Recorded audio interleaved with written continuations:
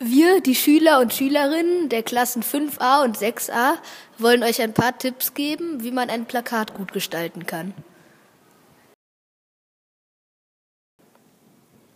Zuerst raten wir euch, Skizzen anzufertigen und kleine Kärtchen zu benutzen, damit das Plakat eine ansprechende Form bekommt. Die Überschrift ist sehr wichtig, weil sie wie ein Blickfang für das ganze Plakat ist und man darin das Thema des Plakates äh, sehen sollte. Stichworte reichen eigentlich aus, um ein Thema zu erklären.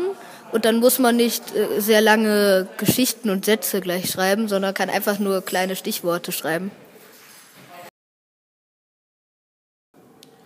Warum sollte eigentlich Druckschrift verwendet werden? Weil Druckschrift kann man aus weiter Entfernung besser lesen als Schreibschrift zum Beispiel.